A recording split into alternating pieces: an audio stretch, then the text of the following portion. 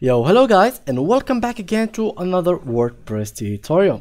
So guys, in this tutorial I will be showing you how you can actually go back to your uh, previous page if you deleted it, if you did anything bad in your page or anything wrong, you can actually go back to your previous page or even your previous version. If you have any previous version of your site, you can actually get it back to your website again. So let's go first on open our dashboard WordPress so how you can do it exactly is by going to wordpress.com slash uh, admin WP uh, admin I mean and then you just uh, put your information by logging in your username and password.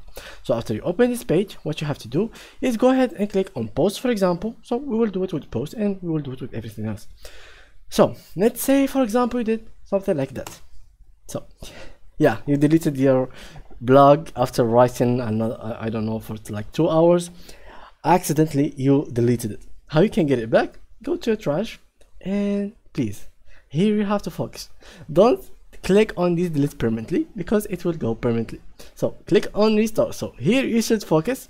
Here it's okay. It's you can delete it, you can do whatever you want. But here please focus and click on restore so this this method done with it. The second thing which is you click on this post. You've done something and you think that you want to really go back to what it was before? You can just click on this flash in here and click undo. Of course you can have some shortcut like ctrl z and here you go. Now this is the second method. The third method which is you can okay let's do update and let's do it with page this the second the first and second method will work on the pages as well. So if you click on trash you can go to trash and here restore. Please again focus. Don't click on delete permanently. Click on restore and here we can click on all. Okay here tools you can import and export. Let's say for example you did something bad in the website you you did the thing that i told you to not do which is clicking on trash and then clicking on delete permanently.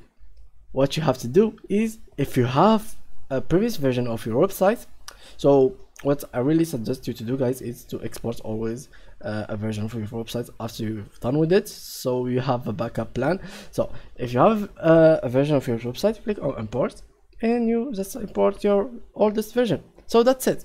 Yeah thank you guys for watching and see you in next tutorial. Bye bye